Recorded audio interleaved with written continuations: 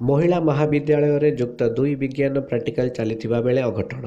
ରାସାୟନିକ ପ୍ରତିକ୍ରିୟା ଯୋଗୁଁ ବହୁ ଛାତ୍ରୀ ଅସୁସ୍ଥ। ଏହିଭଳି ଘଟଣା ମୟୂରଭଞ୍ଜ ଜିଲ୍ଲା ସଦର ମହକୁମା ବାରିପଦାରେ ଥିବା ଶ୍ରୀମା ମହିଳା ମହାବିଦ୍ୟାଳୟରେ ଆଜି ଦେଖିବାକୁ ମିଳିଛି।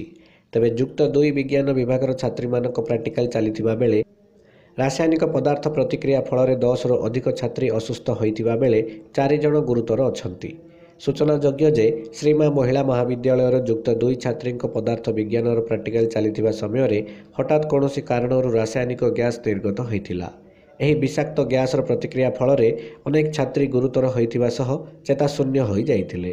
ତେବେ ଅସୁସ୍ଥ ଛାତ୍ରୀମାନେ ନିଶ୍ୱାସ ନେବାରେ କଷ୍ଟ ଅନୁଭବ କରିବା ସହ ବାନ୍ତି ହେବାରୁ ତାଙ୍କୁ ପିଆର ମେଡିକାଲ କଲେଜ ଏଣ୍ଡ ହସ୍ପିଟାଲରେ ଭର୍ତ୍ତି କରିଥିଲେ। ବର୍ତ୍ତମାନ ପରିସ୍ଥିତି ନିୟନ୍ତ୍ରଣ ଥିବାର ସୂଚନା ମିଳୁଛି। ତେବେ ଚିକିତ୍ସିତ ହେଉଥିବା ଛାତ୍ରୀମାନେ ହେଲେ ଅଭିଲିପ୍ସା ବେହେରା ଜ୍ୟୋତ୍ସ୍ନା ଦାସ ପ୍ରିୟଙ୍କା ଖିଲାଡ଼ ଓ ମୋନାଲିସା ମହାନ୍ତି। ମୟୂରଭଞ୍ଜରୁ ଘାସିରାମ ବେହେରାଙ୍କ ରିପୋର୍ଟ। ଉତ୍କଳ ଖବର।